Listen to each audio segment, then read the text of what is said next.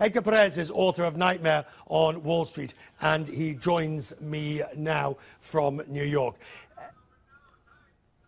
When we, when we look at what has been happening and we talk about this, you don't believe it's rigged.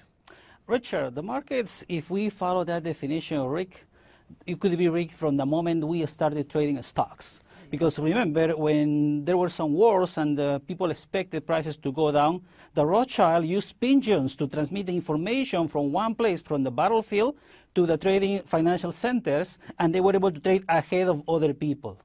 What I'm saying with this story is that people are using technologies available, legal technologies available, to get an advantage, to keep an edge. And that happens to be also the no. use of technology at this moment. Right. The problem with this is, though, Edgar, the problem is the markets are making this up because technologies are moving so fast. Five years ago, 10 years ago, this high frequency, yes, there was computer trading, there was program trading, there was portfolio trading, but the high frequency trading didn't exist in the same way. So is the market keeping up with rules and regulations to ensure a fair deal all round? High frequency traders are born because of regulation. Remember, 2005, that's where we had a big change in the US stock markets when we allowed this competition. 40 years ago, we only had the New York Stock Exchange. Then we had NASDAQ. Now we have four, three exchanges. We have many dark pools, many different venues, broker sponsored venues also for people to trade. So there is more competition. True, some people are using technology to get ahead, but that's not exactly deterministic. They are using models to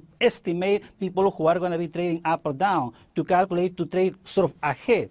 But right. that's discounting the fact that people are getting paying less in commissions. So if you talk to a retiree, he will say, yes, I might pay one penny more for my share but when I'm buying this, but at the same time, they're paying less in commissions. And that's something recognized by also the mutual no, fund companies. No, no, no, no, no. As a matter, you're talking about practicalities, Edgar. You're talking about I might pay a penny more for a stock, uh, for, for a share, but I'm paying less on the commissions. But that's the effect of deregulation.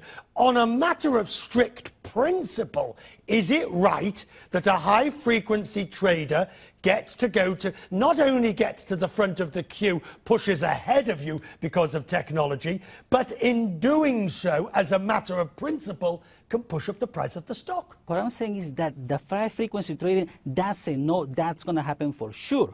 They have models. They're estimated that certain people will be trading this stock, and therefore they're estimated the price they're expecting to pay. So they are giving an offer or an order to that is going to go before this person. So they might be wrong, they might be right. They have the technology to be faster, and most of the time that's true. They are right. That's why they are making millions of dollars. Well then, well then they should be stopped or at least the rules should balance it out. Because if they know in reality, whatever the theory, if they know in reality they are going to be able to get to push ahead to the front of the line, push up the stock, and somebody else has to pay for, I think you have to accept that is not a fair game. Richard, I would encourage you to read my book, Knightmare on Wall Street, when we talk Ooh. exactly about these type of situations. As I said, high frequency traders are using technology that is right. available to any financial player.